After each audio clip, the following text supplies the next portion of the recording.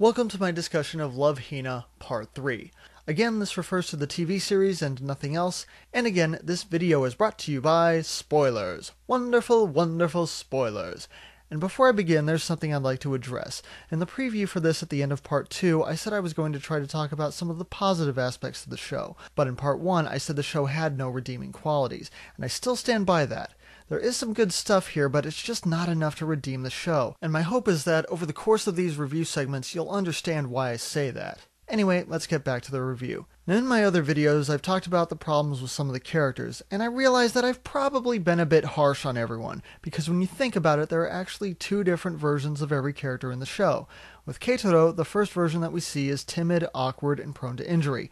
It's no accident that this is the version we see when he's interacting with the other main characters. Whenever he's away from these people, he actually becomes a pretty decent, normal guy, and on a few occasions, he really shines as a character. By the same token, I've spent a lot of time criticizing the main female characters for being irrational, violent, and not very likable overall. Well, it's worth noting that most of the abusive behavior comes from Naru and Motoko. And of course, there's Kaola, who, as I said before, is mostly just trying to play, but this isn't exactly charming behavior. I mean, if a little kid kept trying to kick me in the head just for fun, I wouldn't think it was cute. I'd be pissed off. Oh, and halfway through the series, we're introduced to another character named Sarah McDougal. And Honestly, I'm not even going to get started here, save to say that she is quite literally a walking pile of demon spawn. The other characters are much more likable, or at least less aggravating, but they seem to get stuck in the background most of the time. Unfortunately, these two end up getting top billing a lot more often, and seriously, just yikes! It's like if you gave Super Saiyan powers to a bunch of toddlers. Or am I the only one who remembers the horribly unfunny Katie Kaboom segments from Animaniacs? Yeah, it's pretty much that times five. But again, this behavior only seems to surface when Keitaro is around. Otherwise, these characters mostly seem to get along just fine, just like Keitaro gets along fine when he's away from them. So again, I have to wonder, what was the point of the forced ending? Why does the show try so hard to convince us that Keitaro going back to the apartment to live with these people is the best thing that can happen? Not only is there no evidence to support this idea, but it's pretty much the exact opposite. And personally, I found that the only time that the show even approached being tolerable was when the characters split up so that it could focus on their individual backstories. Unfortunately, this reveals a much deeper problem with the show. The characters themselves aren't necessarily bad, they're just not good together.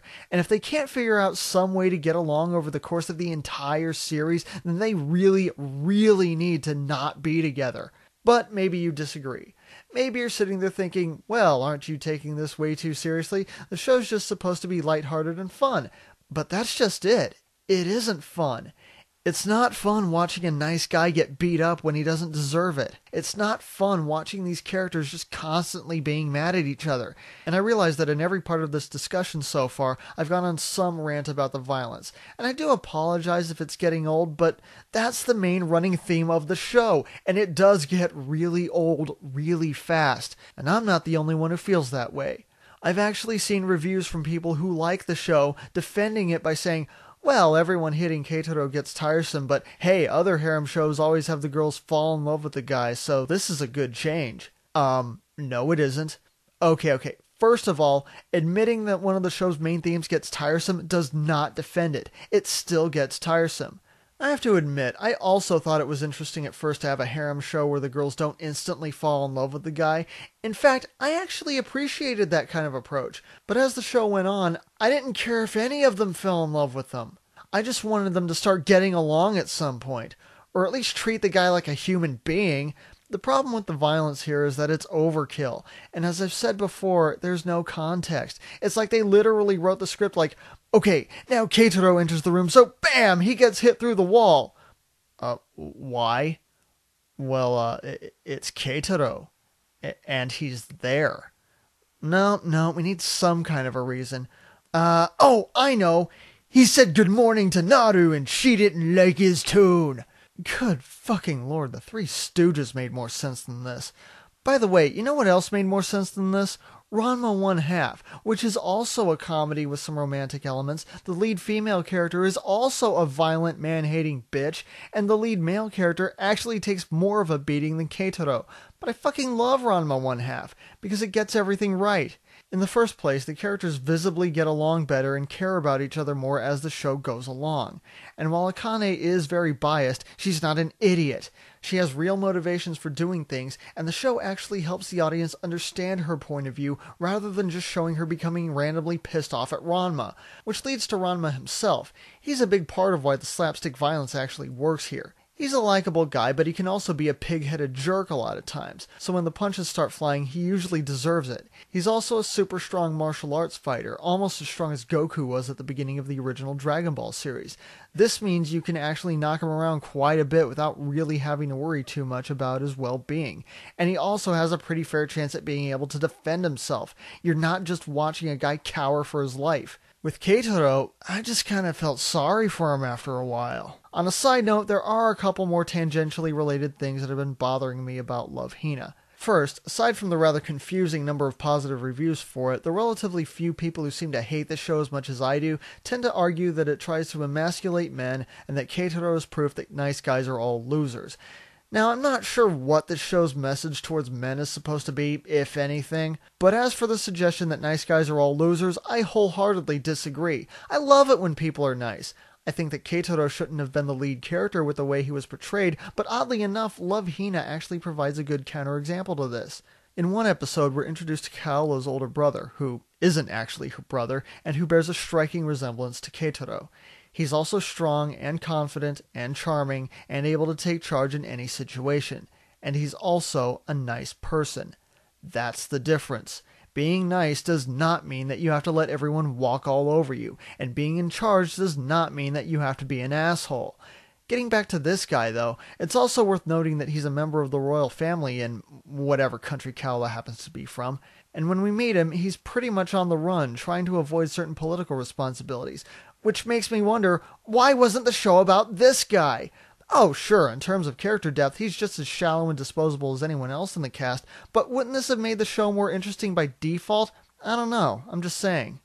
And another thing that's still kind of bothering me has to do with the box art. Now, throughout these videos, I've been using these pictures to illustrate the relationships between the characters.